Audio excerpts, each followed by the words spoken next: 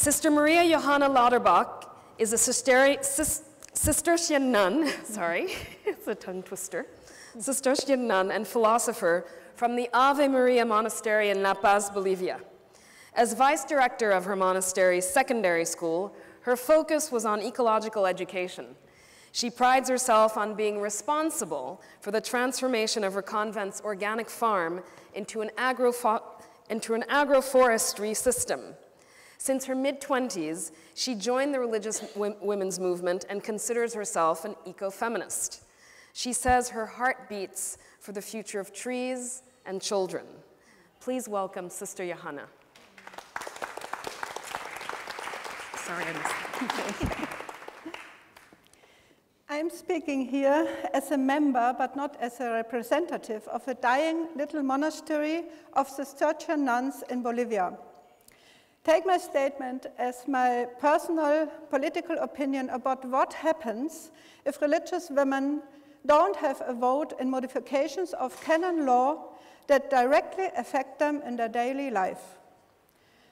For more than 50 years, my monastery Ave Maria in La Paz, Bolivia, is running a private high-end grammar school for 1,900 children of the lower classes in order to give them a chance to go to the universities.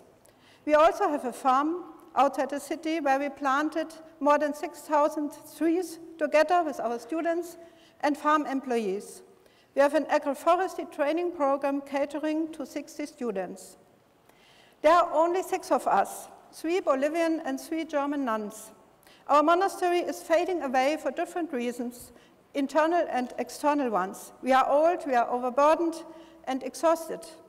In the deeply corrupt society of Bolivia today, where a weak Catholic Church is treated by the government as something that has to be decolonialized, there's effectively nobody supporting or protecting us. We lost the economic war the Bolivian government is maintaining for already 12 years against the private schools.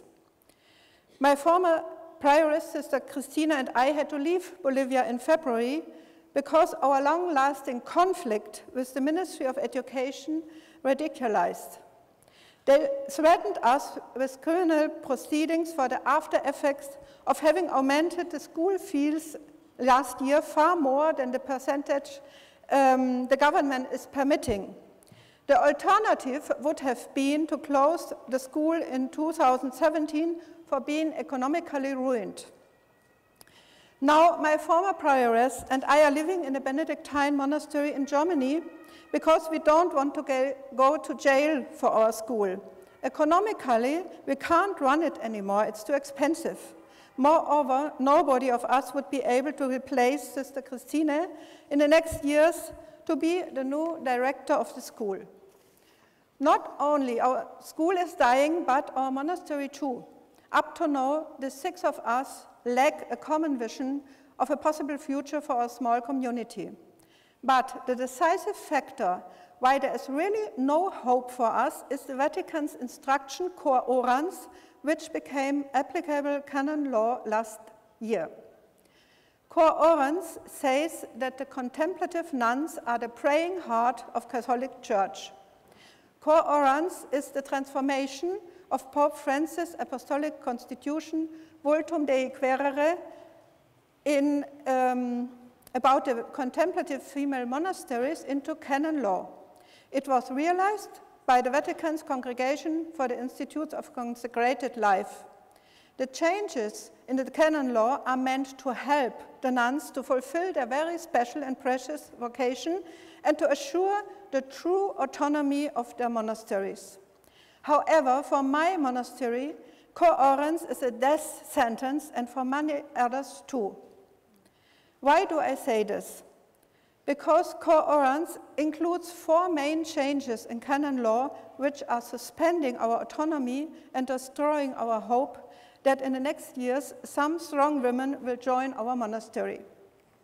First, a nun's monastery which has less than five nuns with perpetual vows now loses its right to elect its own prioress or abbess.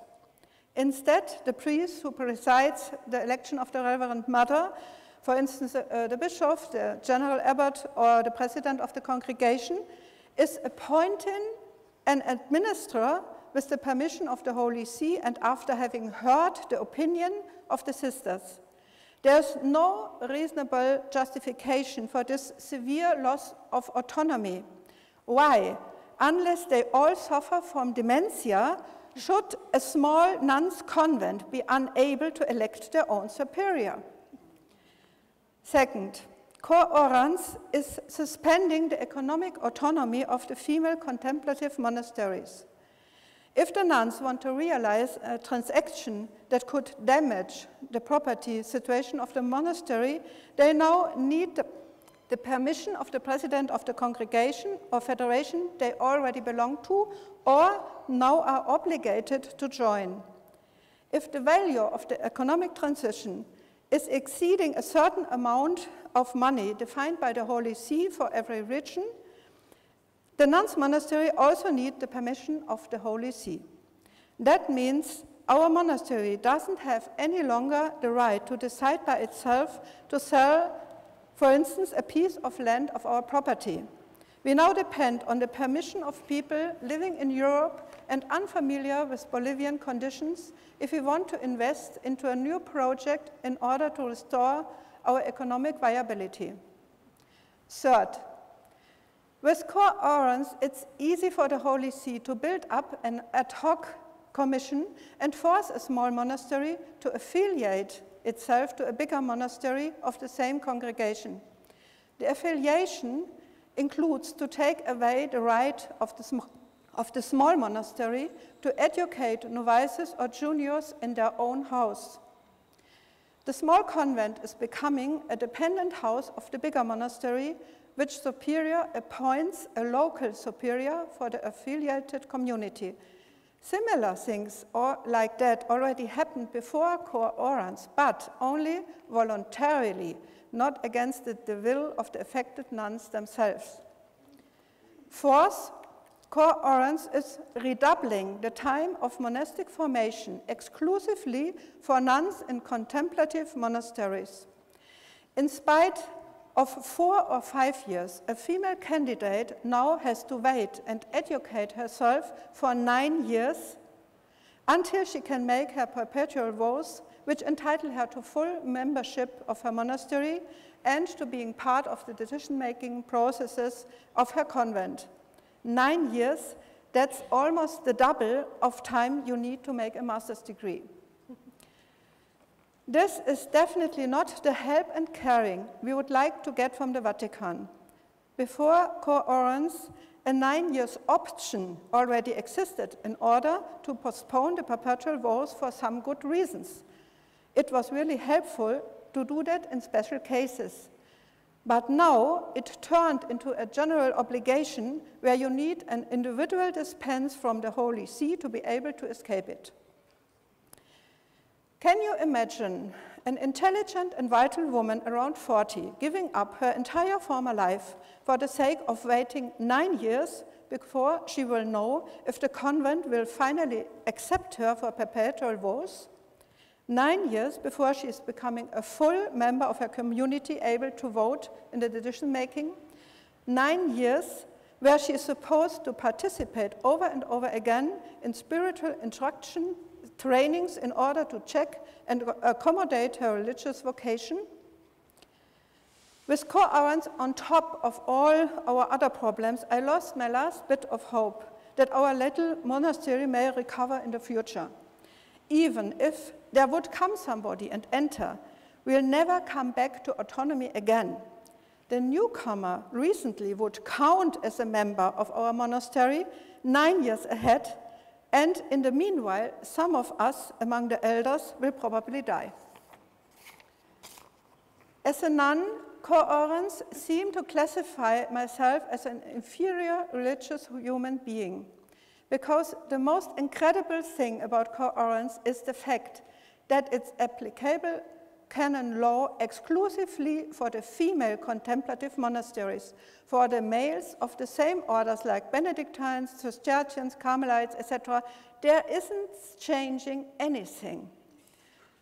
Becoming a monk with perpetual vows is still a process, a process of four or five years.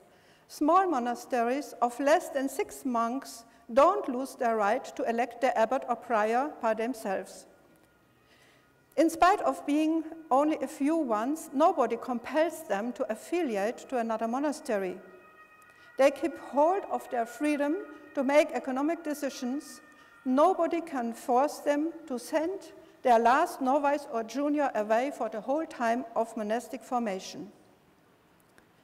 The anthropology of Cor Orans seems to be really strange. Are nuns really twice as immature as monks in order to need the double amount of formation time? Why does the Vatican suspend the traditional autonomy of female monastic communities, introducing even more inequality between religious men and women? Why isn't there a public extinction rebellion of female contemplative monasteries? And how do we interpret the silence of our brothers, the monks? I'm sorry to say that up to now, I never met a monk or a priest who was really angry about Cor Orans. Co-orans is about true autonomy of female contemplative monasteries defined as the ability to fulfill a set of tasks set by clergymen without asking the nuns if they agree and without applying the same criteria to the monks. The authors of the instruction tell us that they only constructed a legal framework around the proposals the nuns themselves uttered in an inquiry the Vatican realized in advance. But I can't believe that the majority of the nuns' convents wished to get rid of their autonomy. If caring and help is authentic, it's an offer which you can deny or accept voluntarily.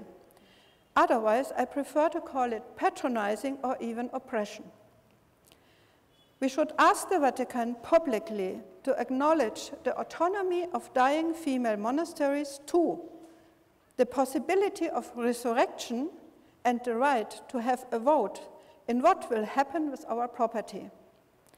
There are so many new ideas how monasteries can become the mold and space future generations and the green earth desperately need to survive and flourish.